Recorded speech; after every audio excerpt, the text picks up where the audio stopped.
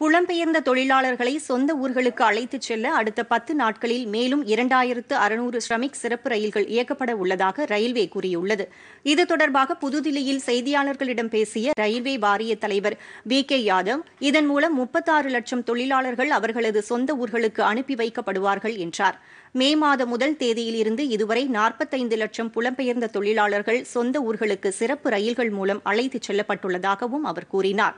மாநில அரசுகளிடமிருந்து கோரிக்கைகள் வரும் பட்சத்தில் மேலும் சில ரயில்களை இயக்க ரயில்வே தயாராக உள்ளது என்றும் அவர் குறிப்பிட்டார் அடுத்த பத்து நாட்களில் ஆந்திரா பீகார் சத்தீஸ்கர் தில்லி கோவா குஜராத் ஹரியானா ஜம்மு காஷ்மீர் கர்நாடகா கேரளா மத்திய பிரதேசம் மகாராஷ்டிரா பஞ்சாப் ராஜஸ்தான் தெலுங்கானா திரிபுரா உத்தரகாண்ட் ஆகிய மாநிலங்களில் இருந்து சிறப்பு ரயில்கள் இயக்கப்படும் என்று அவர் கூறினாா்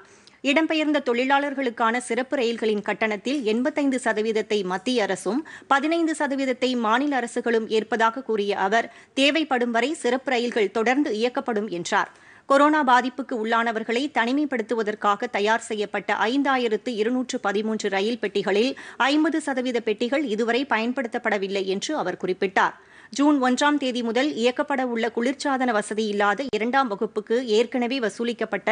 சாதாரண கட்டணங்கள் வசூலிக்கப்படும் என்றும் இவற்றில் முன்பதிவு இல்லாத பெட்டிகள் இருக்காது என்றும் அவர் தெரிவித்தார்